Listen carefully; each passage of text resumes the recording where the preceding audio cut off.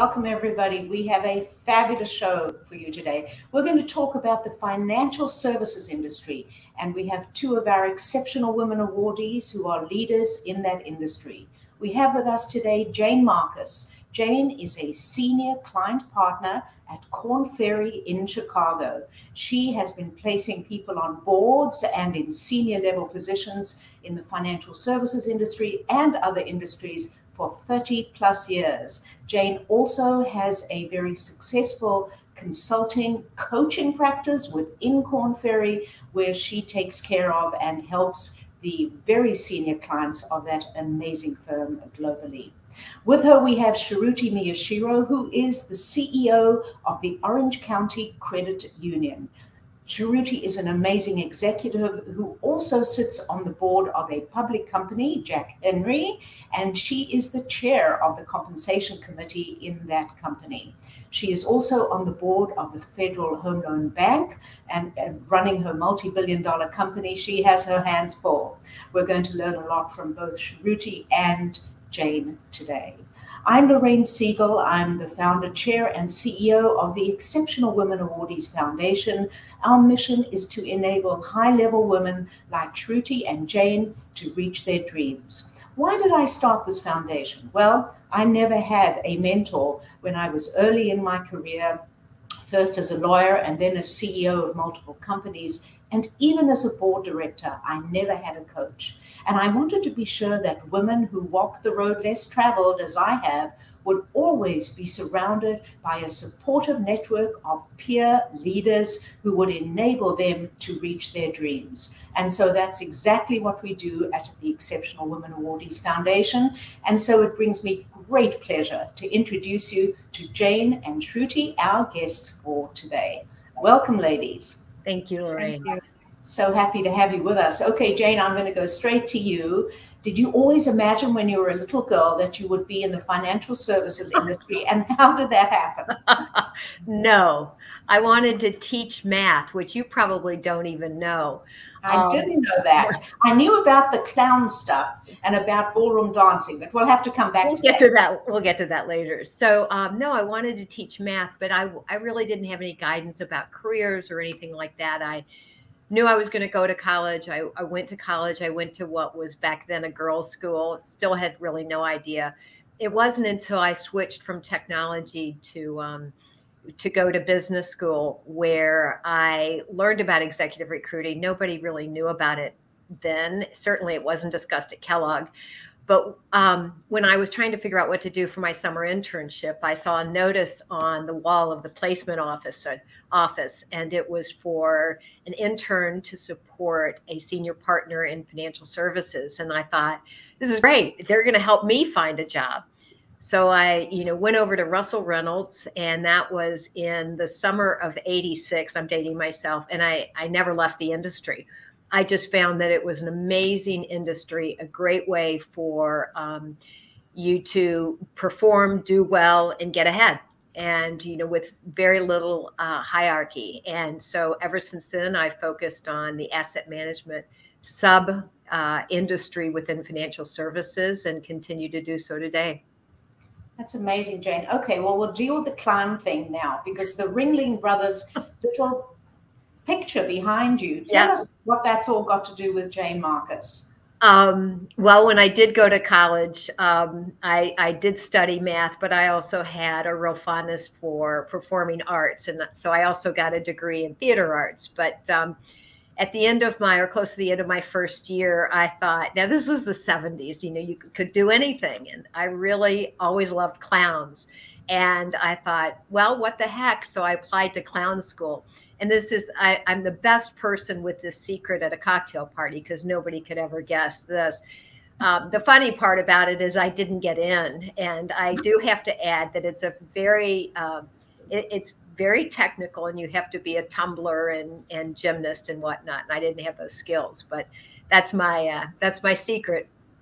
Wow. That's amazing. And nobody would ever guess. Definitely, I know you're a good ballroom dancer, and that's something that is a great exercise. So, tell us a little bit more about that at the end of the show. I okay. do want to get to, to Shruti, though.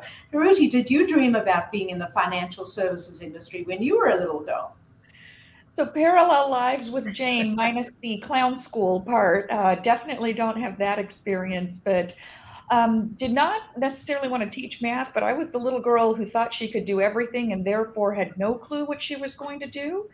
And so my job was accidental in that I was an undergraduate student studying philosophy, planned to pursue a master's degree in hospital administration but with a philosophy degree, again, you can do anything or you may end up doing nothing. I was very lucky that my part time gig that turned into full time, working at a local credit union, just six months in, I was 21 years old, and they promoted me to being a branch manager.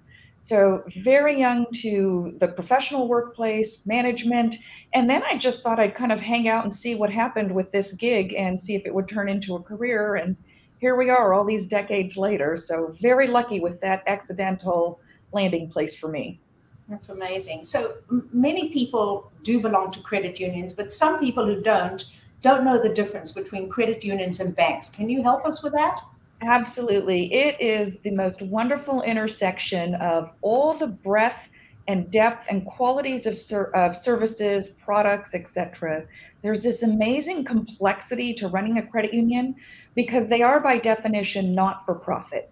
So while we're not working on quarterly numbers for Wall Street or earnings calls, there's still a need to run a strong business in a not for profit environment with the same challenges of fintechs, cybersecurity, regulatory environment. All of the challenges and intellectual challenges are there, but at the same time, the purpose being very people centered. So the projects that we work on tend to be very people centered before ESG was a common thing. And so you're able to focus on the workplace that's created for your associates and the community impact product design for those uh, customers who bank with us. It's just a beautiful intersection of purpose and complexity and intellectual acumen. I have never heard it described that way, Shruti. How beautiful is that? So, Jane, you have something you call crack the code in financial services. Can you explain what you mean by that? Yeah, that's a great question. So cracking the code is is really a number of things, and um, I think first of all you have to stay relevant, and that's probably the case in any industry. You just have to be a continuous learner, and you want to be relevant. You want to continue to work on yourself throughout your career. So one of the traits that's most important throughout leadership and, and really even all the way to the top is self development, knowing that you can grow and always be working on yourself. I would add knowing the traits that are important to success, whether it's your role or the role that's next in line, or where do you want to be in three to five years. And then uh, one of my favorites is really building your own advisory board. And that's critical. And this is this could be part of an EWA. This could be individuals that um, you've gotten to know through work or through other relationships. But this is a group of individuals that can really be your mentors and your Sherpas as you continue to progress in your career. Yeah, that's that's fascinating. You've overcome a lot of challenges, uh, Jane, in your career. Can you outline a couple of them? Because I'm sure there are people out there. And by the way, to our audience, do put in your questions and tell us what you want us to answer. We'll be happy to do it on the air. Jane, some of the challenges you've overcome and, and advice on that? Well, um, gosh, you know, I was the, I am the mother of two boys, and I was a single mom for most of their life, and and my role requires a lot of travel. So I would, and I worked in New York officially, so I would be on the road from Monday or Tuesday through the end of the week and that's tough you know it's tough to leave your kids it's, it's tough to manage the communications and and whatnot. But um, you know i always did the best that i could do. I think another challenge was generally always being the only female at the table. Um, and you know working within an industry that was fairly male dominated in in a business financial services and in a business uh, executive search which was fairly male dominated and to secure your seat um, not necessarily wear you know anything on your sleeve in, in terms of having an attitude or an edge but um, do the best to know yourself and be confident and to speak up Jane, has it changed, Jane, in the 35 years? And, and where are we now, do you think, with that? Yes, that's a great question. Um, yes, it's changed. Um, it, not much, though. Um, so I and, and I ask young women this all the time because I had my kids kind of the first of my my age group in executive recruiting that had kids. Uh, I ask the young women now, how is it? What does it feel like? And and they're still having a lot of the same challenges. Um, I think the good news is that there are more of us. Um, there are more of us that are filling the ranks so that, that we can be mentors. And, and I think that that's what's important for us to continue to pay it forward. Yeah, yeah, it's uh, that's it. That's happier news, but not as happy as we'd like it to be. Right. Shruti, you you have a beautiful son, and I'm sure you encountered some of the same challenges. What are your thoughts on on that, and how did you manage? Well, I think, like Jane said, like most um, women, especially in the generation where there weren't as many remote work opportunities. We you know as wives as mothers as daughters sisters etc we had a feeling we were taught that we could do it all because the opportunities were there but with that came the pressure of can i really do it all? And am i doing enough? And am i good enough? And i certainly struggled with that. As both a wife and a mother um, i was fortunate to have an amazing husband who made my job easier, who made the self doubt easier. But at the same time, um, when you're one of the few working women who do have to travel, you wonder are you doing the right thing for your family, for your values? And so I think what helped me was pretty young, when our son was pretty young. I took a step back and I really tried to picture okay, 30 years from now, 40 years from now, fast forward your life. What should it look like? What matters? And for me, it's always been the people in my life and the purpose of the work I'm doing. So it hasn't been about chasing a title, it hasn't been about some of those definitions of success. And so that allowed me to then prioritize. I'm a CEO during a great recession. I'm a CEO during a pandemic. It is all hands on deck, it is long hours, it's everything to focus on the business at this critical time. On the other hand, when our son was 14 years old, he voluntarily wanted to go to an East Coast boarding school. And so young, far away on the East Coast, my son, our son, was on emergency bypass. It didn't matter what kind of meeting I was in, if he rang, I answered. So, having that kind of understanding of my priorities based on what was happening in my life has helped me determine where do I need to pay attention now, based on what's happening and based on my priorities so that a decade or five decades from now, I feel pretty good about the overall choices I made. Maybe not every single one, but overall, I got in the direction I wanted to go in. Yeah. Uh, we are not perfect, any of us, and we all still make mistakes, but we do the best we can. You know, one of our advisory board, Joyce Russell, who is the chair of the foundation of Adecco, which is a 26 billion uh, uh, services staffing company, uh, said on one of our uh, shows, and I always say this after it because Joyce, thank you for that 10, 10, 10. Will your decision, what will it feel like in 10 minutes, in 10 months, and in 10 years? And I think that that's basically what you said, Shruti, is that you have to think about not just now, but the short, medium, and long term. And, and those decisions can be very difficult to make. It gives you some perspective. Uh, Shruti, back to you for a moment. You went on a public board when you were very young, and tell us how that happened. It's, you know, I've been very lucky. It's been the theme of my life, having these opportunities very young. So I was a branch manager at 21. I was a CEO in my 30s at 35, and I went on a public company board at um, 44. So very young.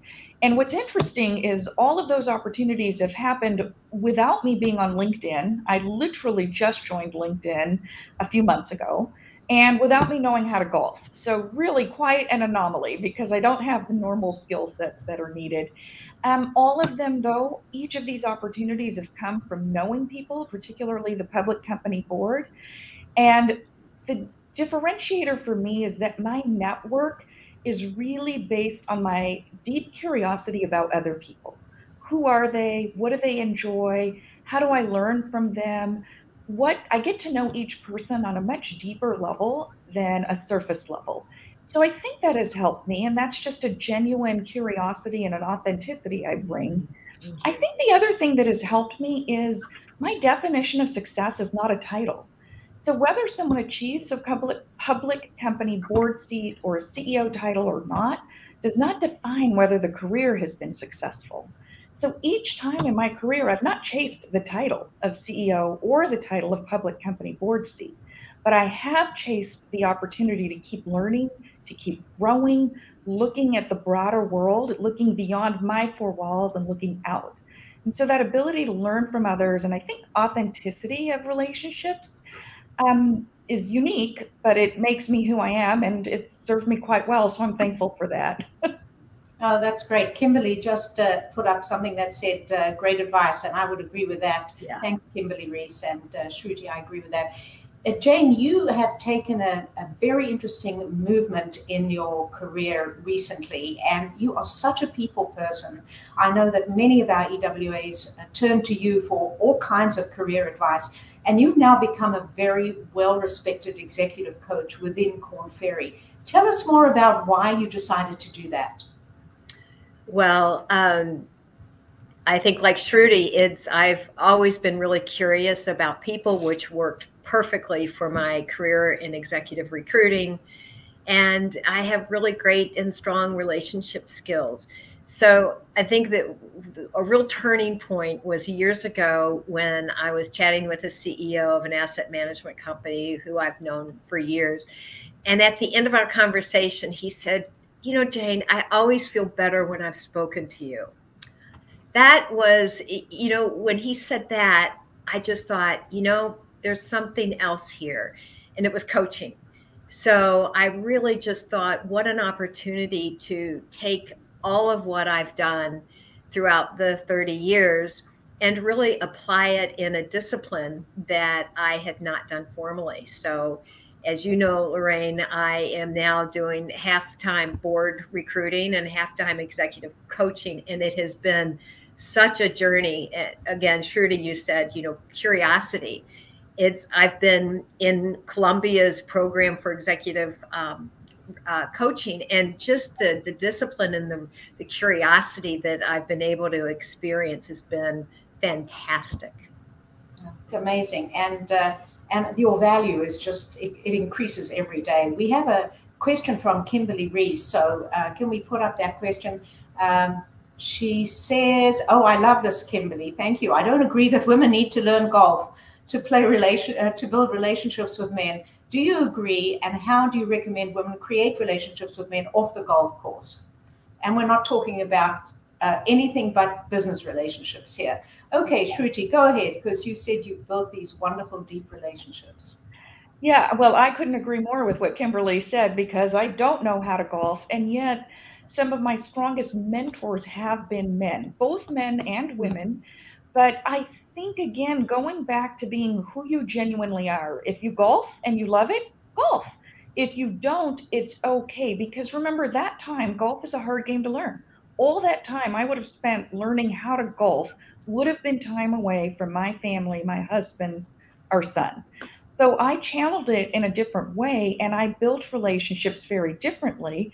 Um, one of my strengths on StrengthsFinder is um, individuality. So I'm curious about the individual, and that has been helpful to me. I think it's important to be who you are, not who you think you need to be to fit a mold. And we're seeing that ability emerging much more now than we did in decades past. So if you're not a golfer, don't worry, you'll still be incredibly successful in your career. It'll be in other ways. Yeah, I'm a failed golfer, so I appreciate what you just said. Uh, you know, Shruti, you're on a, a, public board. You're also on the Federal Home Loan Bank board. Uh, those are two very different boards. And then, I'm, Jane, I'm going to come to you because I know you place people on boards all the time. But explain to us what the Federal Home Loan Bank board is all about because it's not the normal kind of public board. Yeah, it's pretty fascinating the types of boards I've served on. I've been on a hospital board, a college board, lots of different boards. The public company board, of course, is SEC publicly traded, lots of information. The Federal Home Loan Bank is fascinating because there is still SEC oversight, But if that wasn't enough, we also have regulatory oversight from banking industry. And if that wasn't enough, you also get oversight from the federal, from the FHFA, Federal Housing Finance Agency, mm-hmm. which oversees Fannie, Freddie, and the Federal oh. Home Loan Bank system.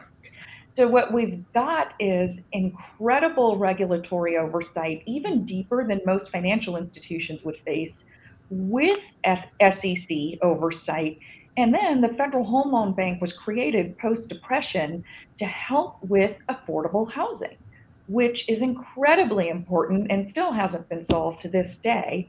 So you've got, again, this concept of a mission, but a heavily regulated business from all entities. And it is a fascinating case study in um, bureaucracy, opportunity, and need.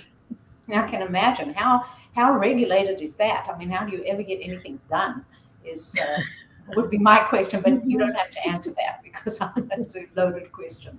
Um, I will go to Jane though, because Jane, you place many people on boards, both men and women, and so many women uh, we know and are in EWA and other groups want to get on boards or want to get on more boards. What's your advice?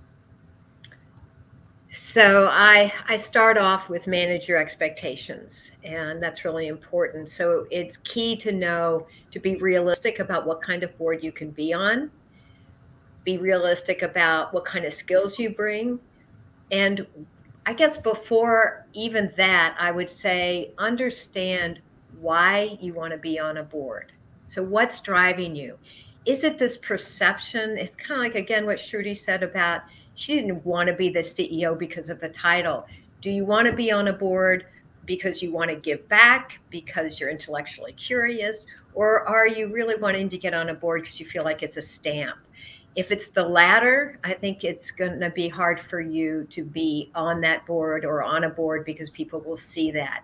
So manage your expectations. Um, network, network. You don't have to play golf, you need to network. You need to be in situations where you can meet people and know your elevator pitch, know your couple of sentences of what kind of board you want to be on so people can help you. And then understand governance. Larraine and I've talked a lot about this. Get governance training, get training, take a class, and come prepared.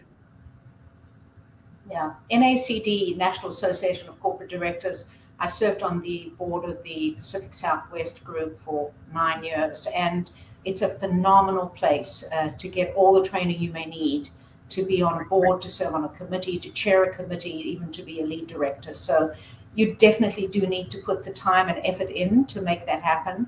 Um, and I think that the managing your expectations is a hard part to to analyze, really, Jane, because I think now with a lot of the laws changing and women feeling that it's their time to get on boards, uh, there are a lot of women who are very well qualified, but there are a lot of women who are not and still want to be on boards. What do you say to them, and how do how do they get to put their expectations into reality? Well, I talk about it's a great question. I talk about um, I talk about their background, and first I talk about ask them why they want to be on a board and what kind of board they think that they should be on. And I talk about the reality of where you start. And if someone has not been on a board, you need to start at the beginning and I, it's training wheels. You need to think about maybe you go to your alma mater, maybe you do something in your community, but you need to get some credentialing in terms of an experience about being on a board. And once I start having that dialogue with someone, then I might bring in some examples of some of the work I've done and the individuals, the women or others who we've actually recruited onto the boards. And it gives them a sense, I think, of boy, maybe that's not quite me. And, and that helps. That helps manage the expectations. Yeah, you did a wonderful session, which we call EWA Speaks for our network and sisterhood. And you talked about the fact that very often there are very specific requirements that a nominating committee wants, like, for example, somebody who's run a P&L in China, somebody who is an academic, somebody who has specific cybersecurity experience. So yes, I think that's really good advice. We have a lot of questions out there, and unfortunately, we won't be able to take all of them, but let's put up at least one or two uh, so that we can give some answers to our audience. Um, here's one that came in from Darla from New York. And Shruti, she wants to know if you would encourage young women to go into financial services and where would she start?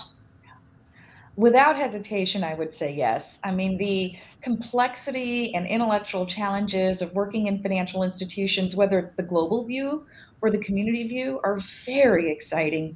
And now what we're seeing is financial services start to focus, like credit unions, but start to focus on a social mission, on the people. So the communities they serve, the customers, commercial banks, small businesses, and individuals. And so there's a really nice intersection, again, as I said earlier, about credit unions, but now for the broader financial services sector to focus on purpose as well as complexity of business.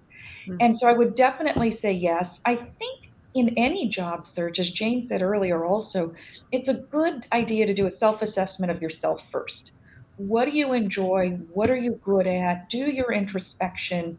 And then from there, taking those skills, reaching out to your network, reaching out to recruiters to say, here's who I authentically am. I, Shruti, am a very bad golfer, bad hand eye coordination. And if that's a requirement of the job, that may be challenging. On the other hand, this is what I'm really good at, and where would that be a good fit? The good news is, in today's market, it is absolutely an employee's market. So if you have an honest self assessment of what you bring to the table, what kind of environment brings you fulfillment, and then you've got a network and group of people where you're able to really see where those opportunities are. It's a good time for a good match. And women are finally getting their seats at financial institutions and in the sector now. Since 2018, I think the number of women in C-level seats, C-level seats at financial services is close to 40%. We're making inroads, so it's a great place for women to be now. That's amazing. And Darla, you're in New York, which some call the, the center of the financial industry. So there's going to be a lot of places for you there to hopefully find your way. Uh, I know there's a few other questions. Let's see if we can squeeze some in. Oh, Derek from San Diego. Jane, why was coaching interesting? You seem to have a successful career as an executive search consultant. So I guess the, the question after that is why would you take that kind of risk to move into uh, executive coaching? I didn't see it as a risk. I, I, saw it as a wonderful opportunity to to learn, to apply what I have been sort of giving away um, all these years, and to really do so with discipline. So the program that I've I've been working in in Columbia, it's um, very research based. So it's been fun to go back to school and um, I feel so rewarded and fulfilled in this part of where I'm focusing. It's just been, it, it's been a real treat. Lucky me. Yeah, lucky us too, because we get the benefit of that. I think there are a few more questions. One, let's see, is coming up for. Oh, here's one. Um, Molly asks Jane. She's been working in investment banking and has an MBA from Wharton. She wants to move into financial services, into management. Uh, so, what skills would be valuable for that? So, there's a combination of uh, functional skills and you know interpersonal skills. So, functionally, you could be in you could be in a financial analyst role. You can be you can go up through distribution. You can go up through operations. You really in financial services you can get into management from any number of levels. The question is, what are your core competencies functionally? So you'll have to leverage those to make the move into financial services. In terms of making the move into management, what's really key is the um, ability to collaborate across the board, across the level. Collaboration is at the top. Um, driving results over your career is critical. So, a track record, instilling trust, have people that trust you is one of the key drivers of a strong management profile. Uh, Self development, I think we mentioned this early on, really understanding who you are and those areas that you need to work on throughout your career. So it's really both the functional skills and the interpersonal skills. That's a great answer, Jane. Okay, quickly, we've literally got one or two minutes left. Jane, ballroom dancing. so you know um, traveling is a lot having being a single mom is a lot and i realized at 50 i wanted to do something for myself so i went to the fred astaire closest to me And um, within months, I was dancing and competing, and I spent years traveling all over the country uh, competing in, in ballroom, and I have loved it. And I have found clients on the dance floor. I have found fast friends on the dance floor, and I've just got my husband dancing, as you know, um, in the last month. I love that. I love It's not clown school, but it's dancing.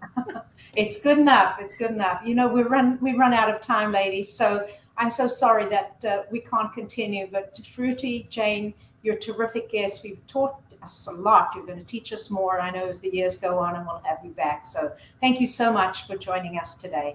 Really, thank really you. Thank you. And of course, we are not uh, we're not done because we have another show coming up for you very soon, and we are going to feature two more of our exceptional women awardees. We have Rachel Barger. Rachel is the Senior Vice President for Global Enterprise Sales for Cisco. And with her, we have Diana Hoff, who is the Senior Vice President for Operations. She's an oil and gas engineer, and she is with Antero Resources. The two of them are engineers, they are leaders, they are superstars. We're going to learn so much from them. Please join us on our next show. And of course, I always leave you with a question, and I have a question for you today. After we heard from Jane and Shruti about many of their challenges in their industry, I would say that what they have done is surround themselves with people who are incredibly smart. So I will ask you have you surrounded yourself with people who are smarter than you are? And if not, why not? Please respond to me. My email is going up on the screen as you see it now. Make sure to look for us on Amazon Music. We're on Spotify. We have a YouTube channel. We hope to see you on our next show. Thank you so much for being with us, everyone. Bye now.